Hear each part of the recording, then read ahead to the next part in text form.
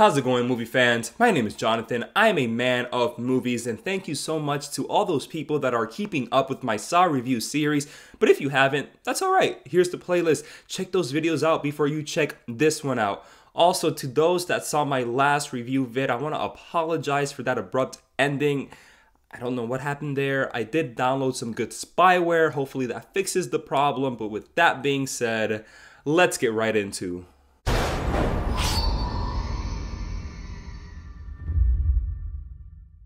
Saw 6 is directed by Kevin Greutert and returning writers Patrick Melton and Marcus Dunstan, starring Tobin Bell, Costas Mandylor, Betsy Russell, Peter Outerbridge, and Shawnee Smith.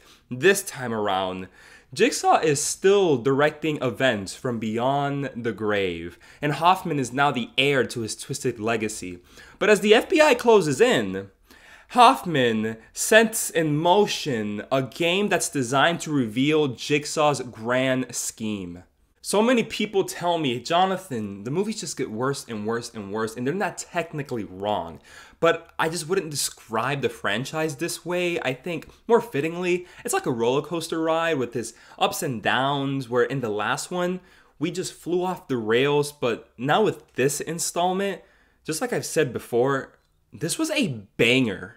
The concept and story is revived to meet the premise of Saw 1 at eye level. It has all the fun and torture we've come to expect with the series, but the in world unsolved mystery of who the new Jigsaw killer is is done so refreshingly to keep the audience at the edge of their seat and invested in the game and some of its victims that we even want some justice bestowed on them. I was a little too tough on Costas Mandylor in my last video, but his new ruthless turn in this movie adds a much needed layer of depth to his character of Mark Hoffman.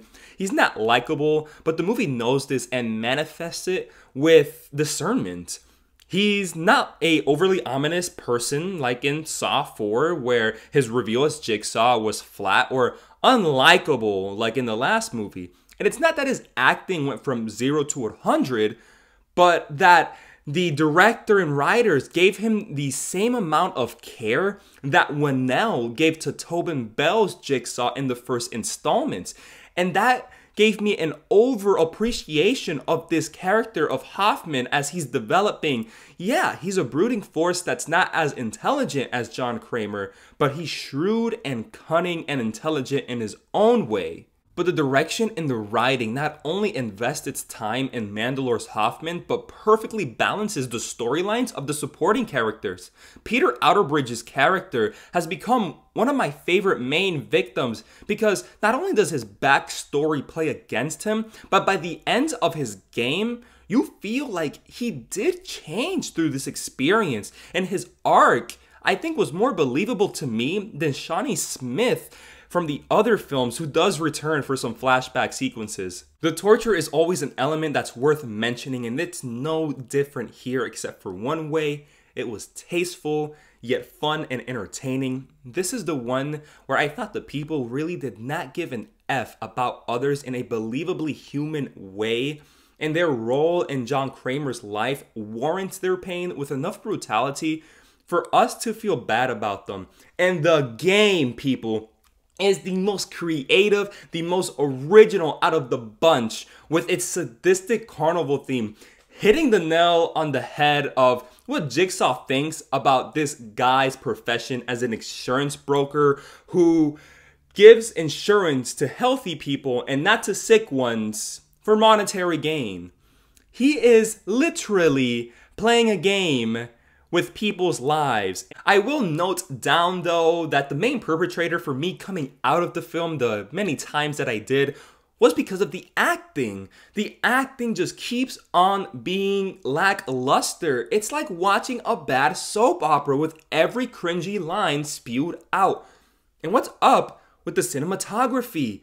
There is a cold and lifeless cinematic feel throughout the entire movie, and some of the previous ones What's up with that? To wrap it all up, Saw 6 does suffer from the same hindrances as its predecessors, with some lacking performances and weird techniques that dilutes the world, but it tightens up those loose ends and delivers a quality narrative that stitches the universe together back in line.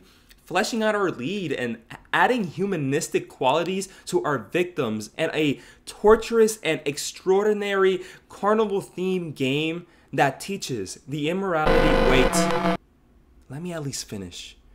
That teaches the immorality of hypocrisy.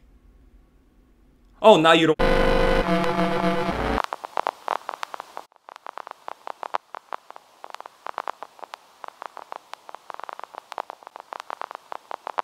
Be prepared.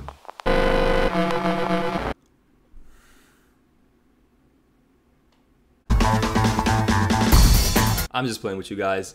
I know you guys want me to go to those coordinates. I low key want to go and figure out what the heck is happening. I already jotted them down on my notebook. But till then, like this video, share this video with family and friends, subscribe to my channel. Till next time, movie fans.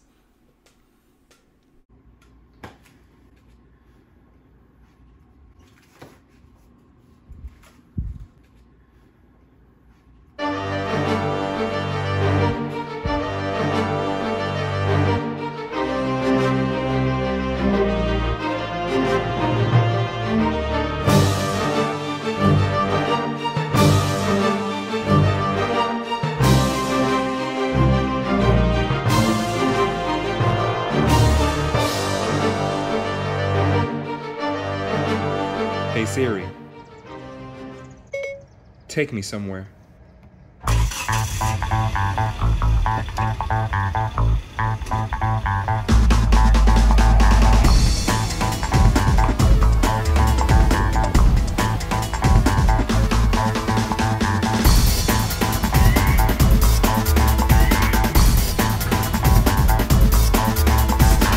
Make sure you guys keep a lookout as we continue with